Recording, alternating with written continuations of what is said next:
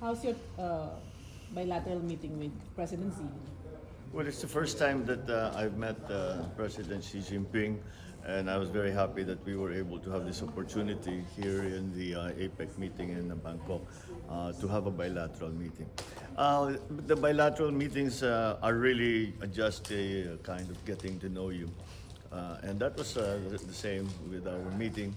We spoke a little bit about regional issues, but mostly about the plans that uh, I have for the state visit that I will be uh, undertaking to uh, China in uh, uh, first week of January.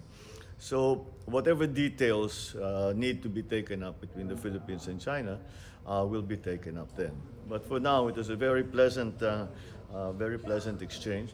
He was also very surprised to meet his old friend, uh, President GMA, who, uh, who accompanied me, and they had a few minutes of, of recollecting the, the meetings that they have had, which I think helped the tone of the meeting. So I'm looking forward to, to January and uh, the state visit to China.